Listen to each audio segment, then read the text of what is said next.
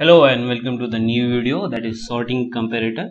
So I think this is the fifth problem in the sorting section uh, in the playlist HackerRank interview preparation kit and this is marked as a medium and for score 35. So I don't think this is of medium type uh, where normal HackerRank medium problem lies.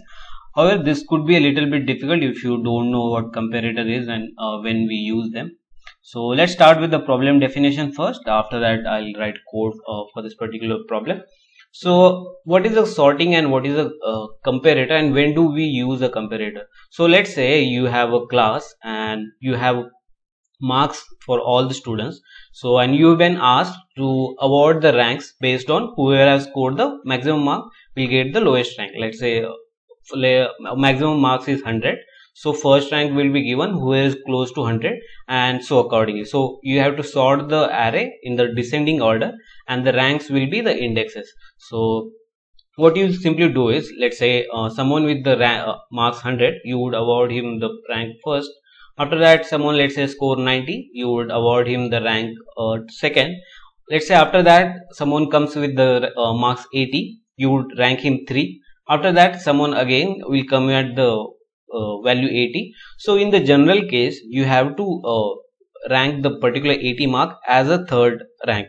Because you don't differentiate between the people you simply differentiate between the marks. So when we use comparators whenever we have more than one parameters from which we can sort. So what we are generally doing in the past or using all the sorting techniques we are simply doing using one parameter. So that could be a like marks or any salary or anything. So it was completely based on one parameter. However in the comparator function or in this particular problem we have to sort using person's name and score as well. So here problem is we will give again like the as the normal sorting works will uh, sort the values into descending order and whoever has the highest score will get the lowest rank so first second third etc. So the problem will lie whenever two persons, let's say a Ram and Sham, will score the same marks. Let's say they score 50. So who would get the first rank? So we here in this particular problem, we are not awarding the same rank to two persons. So we are basically doing one rank for each person. So what we'll do is we'll sort them lexicographically, their name, and whoever comes fast uh, first. So in this case, Ram would come first uh, lexicographically uh, instead of Sham. So Ram will be awarded first rank uh, like uh, in be between them and so on. So this is the whole crux of the problem. We have to sort first on basis of marks and whenever we get the two person or two people or maybe two more than two people with the same marks then we have to do a lexicographical sorting. So generally what we can do is we, we can sort let's say first sort an array with uh, given marks. Uh, let's uh, let's sort that into descending order and after that we'll check for each mark if there is uh, like similarity between the marks. And if yes and then we can do a, like another sorting approach. So this could be a uh, tad bit of um, what we can say uh, extra uh, in the both terms of space and time complexity so in this case we can use a comparator function Okay, I, I generally don't like the problems where they have uh, initially written all the statements and you are basically asked to write a function or a statement. So let's uh, go uh, let's go through the problem. Let's see what they have done and what they are expecting from us. So if you have uh, read the problem, they have clearly asked us to create a comparator uh, like a checker class and then use a comparator function that is a compare it will be of a bool type. It will return true or false whenever we have the cases. So I, i'll show you whenever we are writing the problem. So this is basically we have to do. We have to create one class and then write the comparator function. Okay let's check how uh, how to write code for this particular solution and what they have provided us. And and top of that we'll write our code. So first check what they have given us and we'll check uh, how the code has written so let's start with the main function. So main is given. Uh, there is n that is number of value. So we have created or they have created uh, what we can say a vector of players or vector of structure array of structures basically. So in that they have taken input then they have taken input for name and score uh, structure declaration and the values uh, inserted into the structure given structure and after that they have called the sort function. So this is the important line where all sorting uh, will occur. So generally in this uh, c++ stl sort function we generally give two values that it is start of the array and end of the array. And we expect uh, it to be sorted by that.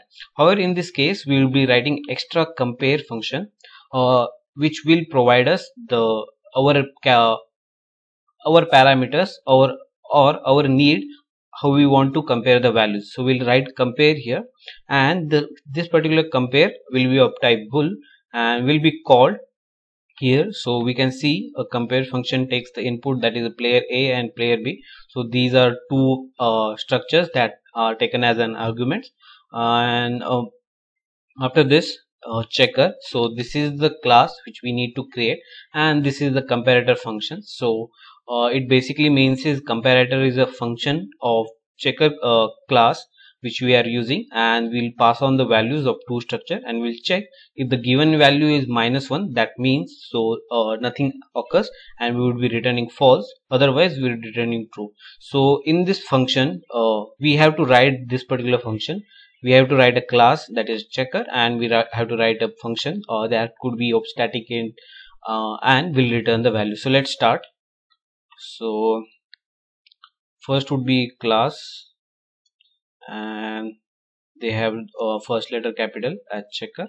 So this will be a starting point and class always ends with the semicolon. So that's one another thing. After this all the class members are private by default. So we'll ensure that uh, we are using public function. After this uh, what we'll do is we'll uh, give the return type. That is a maybe a static int or int would do so in this we'll take the function that is a comparator so this is this particular function is called here here we would again take the two values which are passed that is a and b though both are the structure so we'll basically take the same input that is a player a structure and player B structure. Okay. In this particular function, we will be doing two things. Uh, we'll simply return the value whichever is the maximum. So let's say A and B. If A score is high, we'll simply return uh, 0 that we don't have to do anything. If not, we'll return minus 1. And second thing is whenever we occur that uh, the score is same then in uh, in that particular case only we'll check whoever has the highest score and then we would return the value so what we'll do is we simply check for both the structure if the score is same or not. So we can do that by using a dot operator.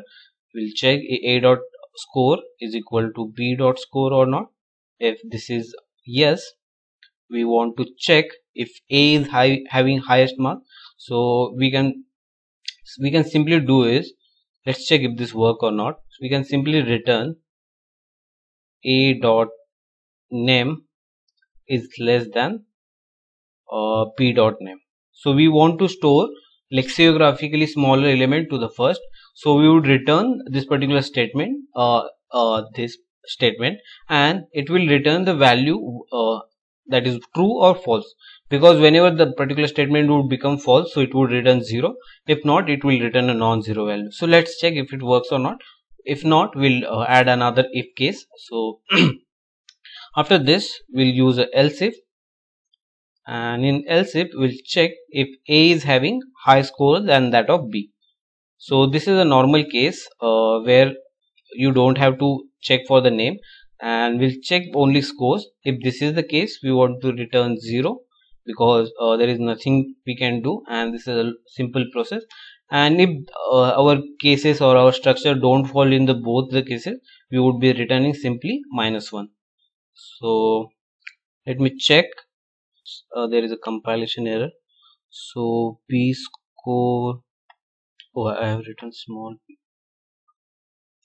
big bb okay let me change the statement here because it could be causing a confusion. So what we'll simply do is we'll use if and let me have the statement. So what we'll simply do is we'll check if a's name is less than that of b we would return 0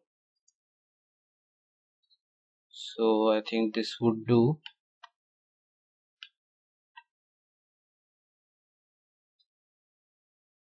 Okay it passes the test cases. Let's check for the hidden test cases.